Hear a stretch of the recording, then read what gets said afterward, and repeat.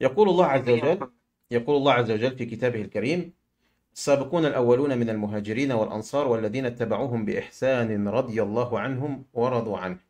الله سبحانه وتعالى ذكر المهاجرين والأنصار وذكر من يتبعهم قال والذين اتبعوهم بإحسان. يعني اتبع مهاجرين واتبع أنصار. النتيجة إيه؟ رضي الله عنهم ورضوا عنه وأعد لهم جنات. ليه؟ لأنهم اتبعوا المهاجرين والأنصار الذين اتبعوا الرسول. سؤالي لحضرتك هل إذا اتبعت أنا الأنصار كما قال الله يكون ذلك لله رضا وأنجو؟ طيب أما مسألة كون اتباع المهاجرين والأنصار بكتاب الله خطأ شيخ أنت بترت الآية. الله يقول والذين اتبعوهم بإحسان فما أطلق الاتباع لأنه لو أطلق الاتباع عليهم لك قطع لهم في محسنين ومتى ما خرجوا من هذا الإحسان يسقط عنهم نعم؟ قطع صوتك وانت ما سمعتنيش. أنا فعلا قرأت الآية كاملة. قلت والذين اتبعوهم بإحسان رضي الله عنهم طيب ورضوا عنه. صوتي أنا صوتي واضح؟ أي نعم أنت سامعني كويس؟ أنا أقول بأن الاتباع هنا ليس مطلق الاتباع أي أنا سامعك. الاتباع هنا فقط بالإحسان. متى ما خرج المرء من كونه محسنا منهم سقط الاتباع. طب أنت ليه لو أنت كان ليه أنت ليه لكان أستاذي الاتباع- اسم حضرتك الأول عشان أبقى عارف أنا اندهلك بإيه أبو إيه أو اسمك إيه. اسم حسين. حسين. يا حسين ليه ما سمعتنيش واتهمتني كذب إنني بطرت الآية؟ أنا ذكرت الآية كاملة بل ذكرت الآية إلى أن قال الله أنت لهم عندما فسرتها. لا أنا قلت الذين أنت اتبعوهم عندما بإحسان. فسرتها قلت بأنه أنا لو اتبعت. أنا- إيه أنت قلت لو اتبعت المهاجرين والأنصار هل كنت على أو أهل أنجو أم لا؟ وما يوجد اتباع مطلق في أيوة. الآية للمهاجرين والأنصار. اتباع- يوجد اتباع فقط بالإحسان. جيد. إذا اتبعت الأنصاري هذا بإحسان كما قال الله يجوز أتبع الأنصاري بإحسان؟ يجوز تتبعه لما لا؟ الله تعالى في كتابه هل يجوز اتباع. هل يجوز اتباع غير معصوم؟ لا الاتباع هنا اقتفاء الأثر ليس المراد منها اتباع مطلق. لأن طيب. الله ما أطلق الاتباع طيب هنا طيب سؤال هل يجوز أقتفي أثر أحد غير المعصوم؟ إيه عادي ما تضير قد. تختفي أثر سلمان أبي ذر المقداد رضوان الله تعالى يعني. اقتفاء الأثر إذا إحنا ما إذا قلنا إذا اتبعتهم آه، ليس إيه، هو إحنا ما- اقتفاء أثر؟ اتباعهم ليس اقتفاء آه، اقتفاء هو- أثر؟ لا الاتباع يكون اتباع مطلق ولا يصح إلا للثقلان وهم أهل البيت الذي قرنهم النبي بالقرآن طب وليه ربنا الأثر في رب حال طب ربنا سبحانه وتعالى ربنا سبحانه وتعالى اسمعني يا أستاذ ربنا سبحانه وتعالى في هذه الآية ذكر اتباع ولا. ذكر اقتفاء أثر؟ هو ذكر الاتباع وقيده بالإحسان الذي هو اقتفاء جميل. الأثر لا مين قال لك إن الاتباع والإحسان هنا اقتفاء أثر جبتها منين إذا أتيتني بعالم واحد من علماء السنة قال الاتباع هنا م- مطلق أنا أترك التشيع. لا مش عايزك من من لا علماء لا قال لا مش عايزك تترك التشيع بالعكس أنا عايزك أنت تثبت لي كلامك. الآن حضرتك ادعيت ادعاء أن الاتباع في هذه واضح اقتفاء الموضوع. اولا خليني أسألك سؤال يعني إيه اقتفاء اثر يعني إيه معناها إيه؟ يعني في حال كونهم محسنين أنت تتبعهم بهذا الإحسان الذي هم ساروا إليه. يعني أصل الاتباع راجع للإحسان لا لذواتهم لأنهم ليسوا بمعصومين. أما قولك ما الدليل على قولي يعني ما الدليل على أنه هو اقتفاء أثر مش اتباع؟ الدليل أن الله قيده وقال بإحسان.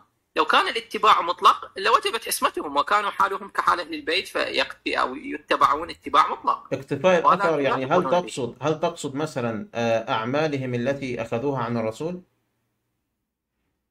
أعمالهم الجيدة التي عملوها فنحن نقتفي أثرهم بهذا العمل. طيب. فالاتباع يكون للعمل لا له لا احسن لذواتهم يعني. طيب. وأنت باتباعك لعلي بن أبي طالب تتبعه لأعماله ولا لذاته؟ أحسك أحسك انصدمت ما سامع الجواب قبل. طيب. أنا اتباعي لعلي أنا أتبع مطلق أفعال علي لأن علي عندي معصوم اسمه مطلقا أيوه. لأن هل النبي أمر علي بطاعته طاعة هل علي هل علي يعني عليه السلام؟ الآن أنت تتبعه لذاته أم لأعماله؟ لا أتبع أتبع كل شيء لذاته ولأعماله لأن النبي ما قرن أو ما قيد طاعته النبي في المستدرك في المجلد الثالث بصفحة 131 قال رسول الله بسند صحيح من أطاعني فقد أطاع الله ومن عصاني فقد عصى الله ومن أطاع عليا فقد أطاعني ومن عصى عليا فقد عصاني. وهنا الطاعة مطلقة. فعلي معصوم عصمة مطلقة بقول النبي. طيب أما بس صبرك بس علي. الآن أنت لما تيجي تطيع علي بن أبي طالب لذاته ما الفرق بين ذاته وأعماله؟ يعني ذات الشخص؟ جميع ما يصدر منه إذا كان في حياته العادية وإذا كان في آه، يعني سنته أو ما استنى به بسنة النبي. جميع يكون جميع أعماله وخارج عن طب هذه أعمال. فين ذاته هنا؟ ما الفرق بين ذاته وأعماله؟ علي بن أبي طالب.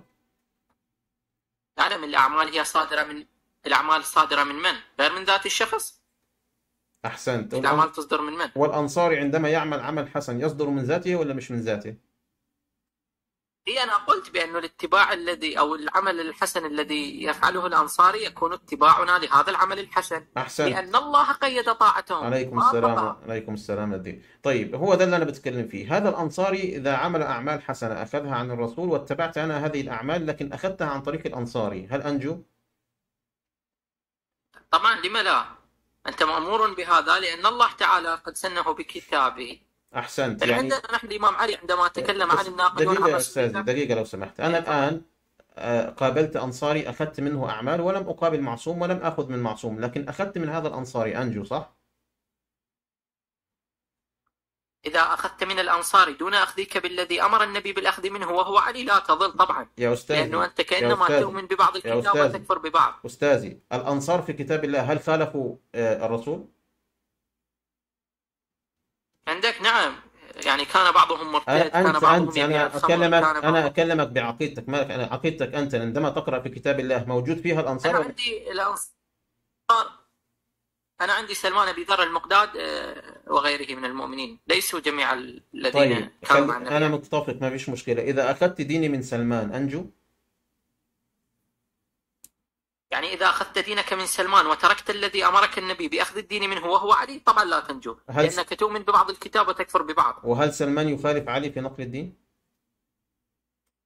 لا هو ولكنه ليس متقنا كإتقان علي بنقل الدين يعني يعني الإمام علي سلمان عندنا في الكافي يعني سلمان لا ينقل. الدين صحيح كعلي بن أبي طالب؟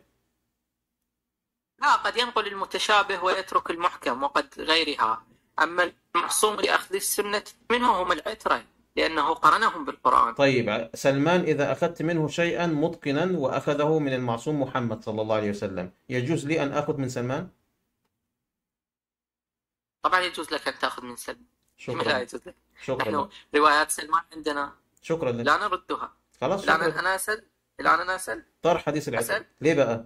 لأن إذا أجاز لي الله أن آخذ من سلمان فكذلك أجاز لي الله أن آخذ يعني لأن سلمان أخذ من محمد أنتم أبطلتم ليه أن الصحابة أخذوا من محمد؟ فنحن أخذنا من الصحابة اللي أخذوا من محمد مباشرة. أنت الآن نفس الطريق ألجأتني إلى سلمان اللي أخذ من محمد بدون المعصوم. فإذا أنا أخذت من سلمان شيء أخذه من محمد صحيح فأنا نجوت شكرا لحضرتك. فين العصمة؟